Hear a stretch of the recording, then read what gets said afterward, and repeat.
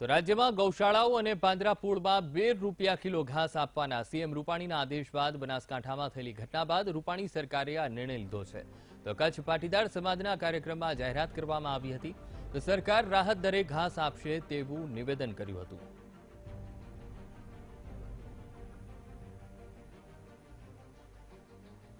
તો ડીસા પાંજરાપોળ દ્વારા પશુ છોડવાના આંદોલનમાં હવે કોંગ્રેસના ધારાસભ્ય અલ્પેશ ઠાકોરે પણ ઝંપલાવ્યું છે.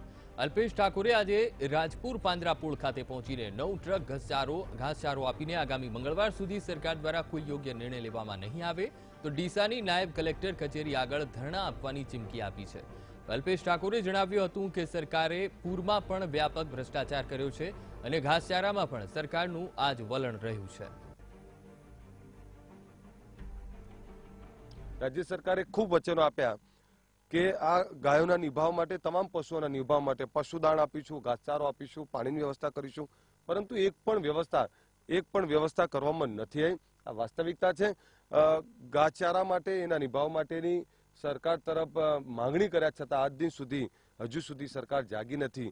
એટલે ગાયના નામે રાજનીતિ તો કરી, ગાયના નામે મતો મેળવ્યા અને ગાય રક્ષાનો કાયદો બનાવ્યો. પણ કાયદો ગાય નિભાવનો ના બનાવ્યો, એનું અમલ પણ ના કર્યું.